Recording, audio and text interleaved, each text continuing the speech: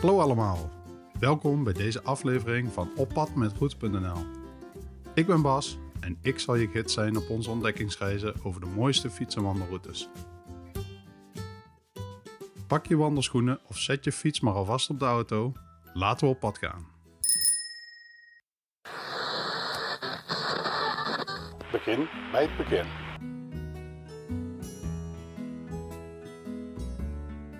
Welkom in de magische wereld van Brugge. Brugge is als een ster aan de horizon, glinsterend aan de Belgische kust. Maar niet echt aan zee. Althans, niet meer. Maar daar later meer over. Waar ligt dit verborgen juweel dan? Ah, dat is een goede vraag. Stel je voor dat je in het ongeveer geografisch centrum van Nederland bevindt, Utrecht. Om Brugge te bereiken zou je ongeveer 200 kilometer naar het zuidwesten moeten reizen. En vanuit Brussel is het makkelijker. Je hoeft slechts een korte rit van zo'n 100 kilometer naar het noordwesten te maken. En eenmaal daar, oh la la, in de omgeving liggen echte wonderen van de natuur op je te wachten. Ze ademen geschiedenis, ze zingen vrijheid. Neem bijvoorbeeld het Swin, een prachtig wijd open natuurlandschap. Stel je voor dat je een meeuw bent die over de wuivende rietvelden en slikken vliegt. Heb je ooit zoveel vogels gezien? Dit is een echt vogelaarsparadijs, zeg ik je. Maar wacht, er is meer. Dan is er ook het Bulskampveld, het grootste bosrijke gebied van West-Vlaanderen. Het Bulskampveld was in de middeleeuwen het grootste heidegebied van Vlaanderen, gelegen tussen Gent en Brugge. En wat staat er tussen al dat groen, hoor ik je vragen? Wel, als kers op de taart omringd door al deze natuurpracht staat het statige Brugge. Zijn grachten zijn als levensaders van de stad, krioelend van activiteit. Hier en daar zie je een toren of kerktoren. De Belfort is de grote broer die over de stad waakt. Je kan hem niet missen. En praat me niet over de basiliek van het heilig bloed. Dit is een plek van legendes. Ze zeggen dat er een flesje met bloed van Jezus Christus zelf binnen ligt. Wie weet. En we vergeten bijna de Madonna met kind, dat wereldberoemde beeld van Michelangelo. Gewoon daar, in de Onze Lieve Vrouwenkerk. Menig museum is er jaloers op. Maar Brugge is niet alleen stenen en groen. Er is een kloppend hart. Er zijn verhalen. Heb je gehoord van het Minnewater? Ze noemen het ook wel het meer van de liefde. En wie houdt er van chocola? Brugge is als de chocoladehoofdstad van de wereld. De geur van chocolade is bijna overal.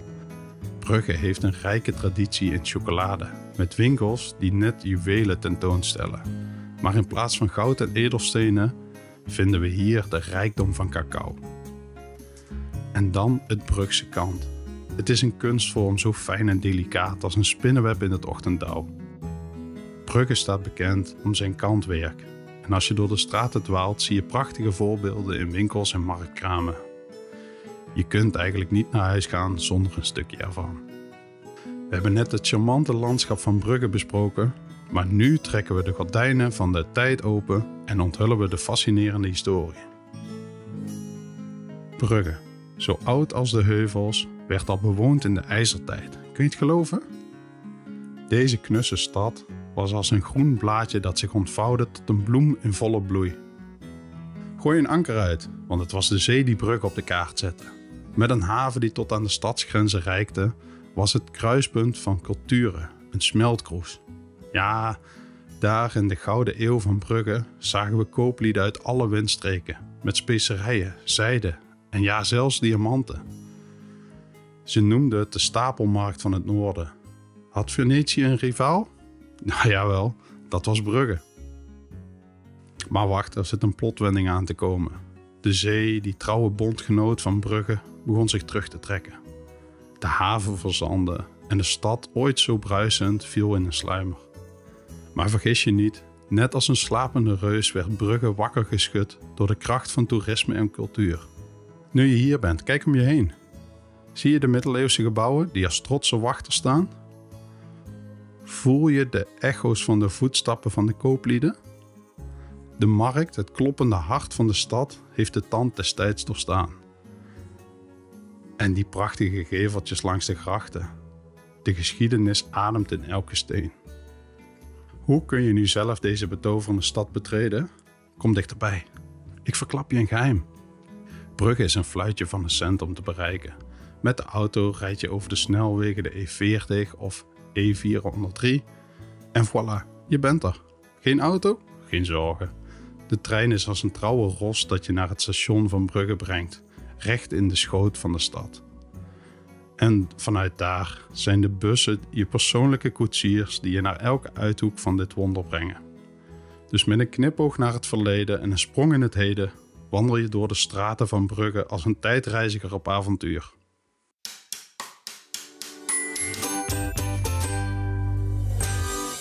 Fietsers en wandelaars opgelet.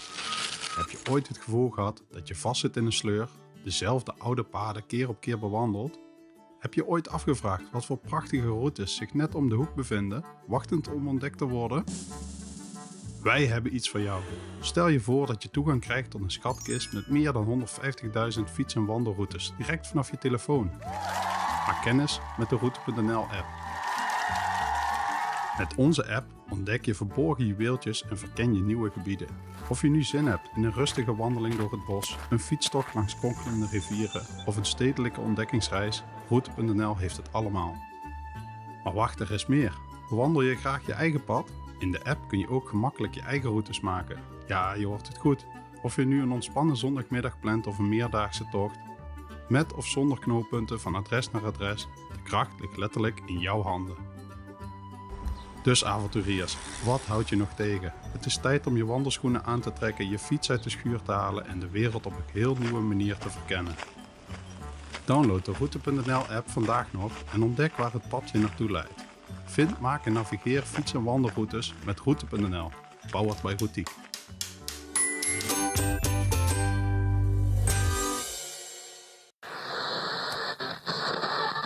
Fietsroute.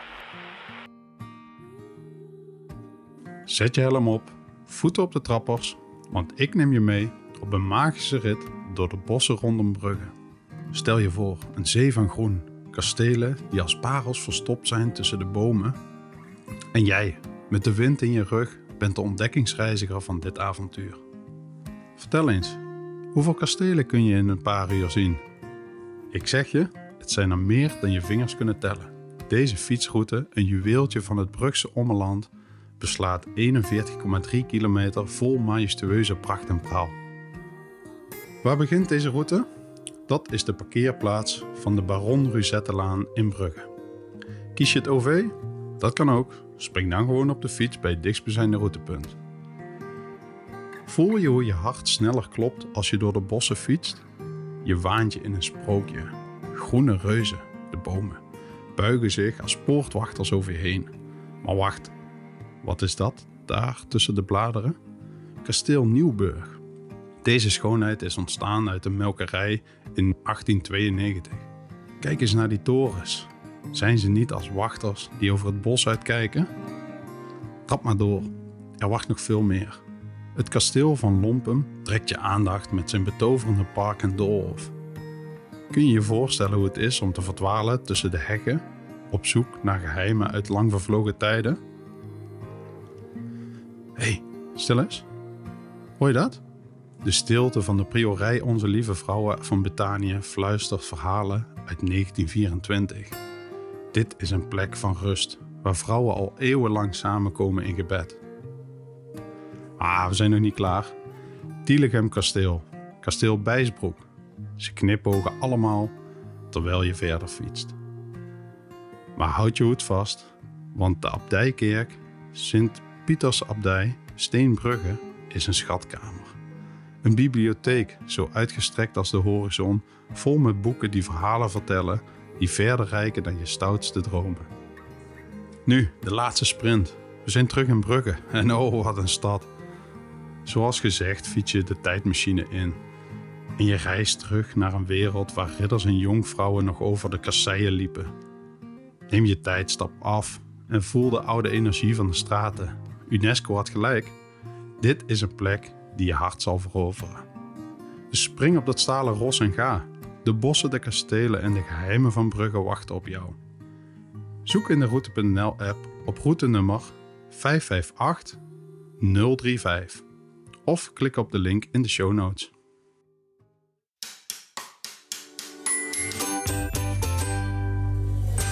Jullie kennen vast wel de geweldige Route.nl app waar we het eerder over hadden. Maar heb je al gehoord van de magische upgrade die jouw avonturen naar een heel nieuw niveau tilt? Maak kennis met Premium. Nu, stel je voor dat je een persoonlijke assistent hebt die je begeleidt tijdens de tochten, zodat je minder op de route hoeft te letten en meer van je omgeving kunt genieten. Met de Premium Upgrade krijg je stembegeleiding die je bij elk knooppunt aanwijzingen geeft.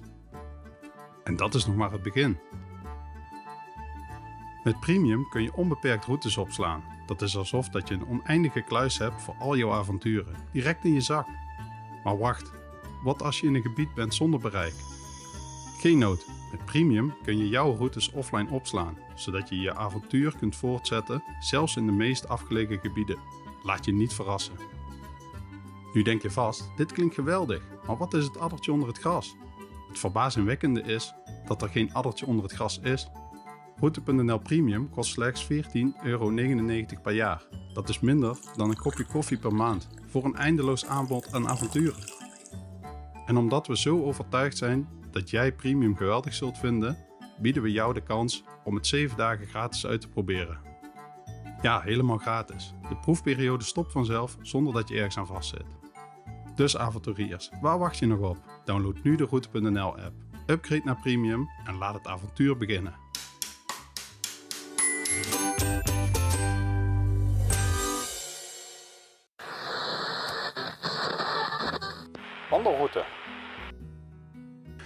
Zodra je uit de trein op station Brugge stapt, open je een sprookjesboek.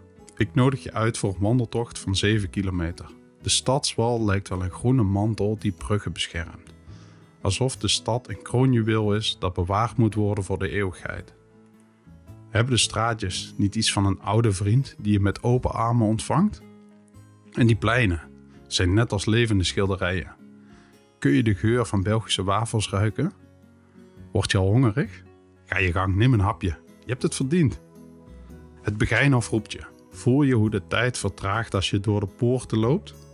Luister naar de stilte, voel de rust. Die gebouwen vol verhalen van vroeger. Ze fluisteren zachtjes door je oor. Wat zeggen ze? Dat is aan jou om te ontdekken. Ga verder naar het Minnewaterpark. Dit park, oh la la, het is als een liefdesbrief in landschapsvorm. Kijk naar de bloemen. Zijn ze niet de poëzie van de natuur? Kijk op, daar is de Gentpoort. De wachter van de stad. Een laatste knipoog en je bent weg naar het Koningin Astrid Park, waar koninklijke voeten hebben gewandeld. Maar er is meer. Die rustige wijken zijn de verborgen schatten van Brugge. Voel je hoe de grachten je zachtjes meevoeren naar het hart van de stad? Daar, op het Jan van Eyckplein, op de grote markt, ontvouwen zich de legendes van weleer. Stel je voor, ridders en prinsessen die er ooit wandelden. Het stadhuis op het Pleinbrug is als een kasteel, klaar om je te kronen tot ereburger van Brugge. Voordat je het weet, leidt het pad je naar het Arendshof en het Groeninger Museum. De kunst, de geschiedenis, het is als een dans die nooit eindigt. Als je terugloopt naar het station door het Koning Albert I Park, denk dan even na. Heb je genoeg foto's gemaakt? Heeft je telefoon nog opslagruimte voor meer magie? En die drukte. Heb je de menigte verslagen door slim te zijn en op een door weekse dag te komen? Dus moedige wandelaars, zet je beste bindje voor en duik in het sprookje dat Brugge heet. Laat je leiden over deze route en wie weet, misschien vind je wel een beetje magie om mee naar huis te nemen. Zoek in de Route.nl app op routenummer 419 4225 of klik op de link in de show notes. Samenvatting. Brugge, een middeleeuwse schat, nodigt je uit voor een avontuur door de tijd.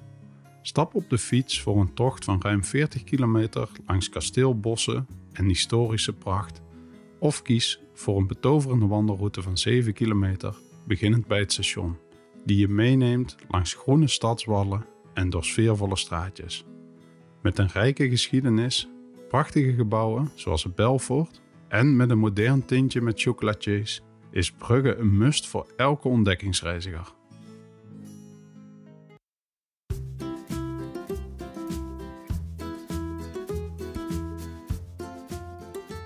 Voordat we afscheid nemen, heb ik nog een klein verzoekje. Als je hebt genoten van deze aflevering, zou je dan alsjeblieft op de abonneerknop willen drukken? En weet je, 5 sterren zouden ons niet teleurstellen.